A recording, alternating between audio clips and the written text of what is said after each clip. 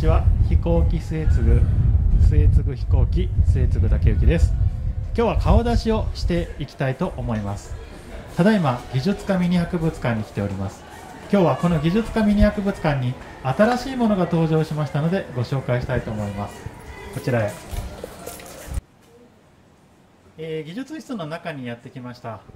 新しく仲間入りしたのはこちらです。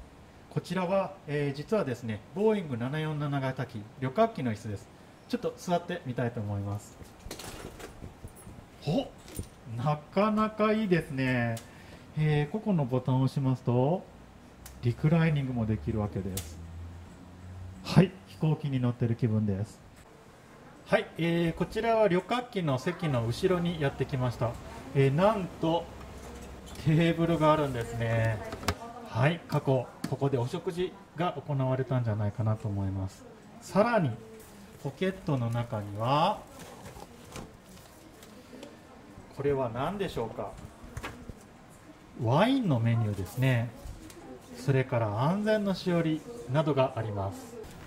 こちらが安全のしおりです。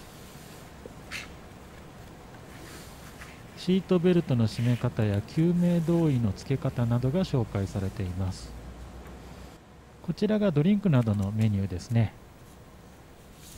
価格を見てみますと時代を感じさせますね。カクテルウイスキーが360円ビールが120円安いですね。